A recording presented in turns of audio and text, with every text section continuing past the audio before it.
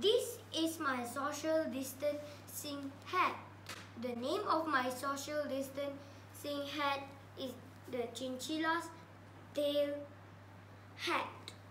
And this is a chinchilla. Chinchilla is a cute animal and belongs to the rodents family. Chinchilla can be found in South America. They are endangered species because people hunted them for their thick and soft fur. Please do not keep chinchilla as pets. They belong in the wild.